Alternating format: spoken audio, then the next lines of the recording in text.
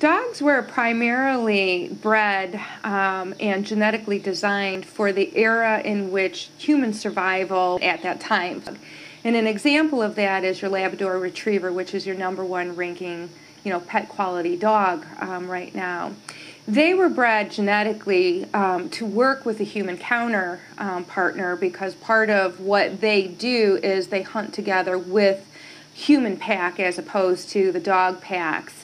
Uh, so you have uh, behaviors that are associated with, you know, friendly, they're outgoing, they're very people oriented. Pack drive is actually associated with dogs. Um, instinctual behaviors based on being a part of a group.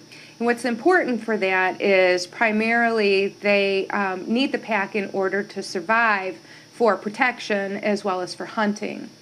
And then the other drive, uh, which is what we call prey drive. So, prey drive is uh, part of the dog's natural survival skills for just eating. And there's a sequential um, pattern or, or a behavior that kind of goes with prey drive that we see in dogs, um, often with our domesticated as well as our wild dogs, which tends to start out with a dog that may stalk an animal or they see movement and what happens is it sets that predatory behavior into into play which generally you'll see a dog stalking and then they kind of crouch and then they pounce on it and then they grab it then they shake it and then they de-stuff it.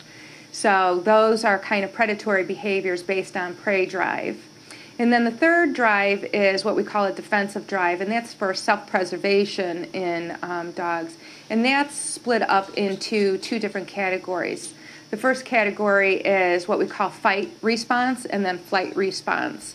So those generally tend to be based on dogs that are guard dogs um, and uh, you, some of your uh, hunting uh, breeds will have high defensive drives.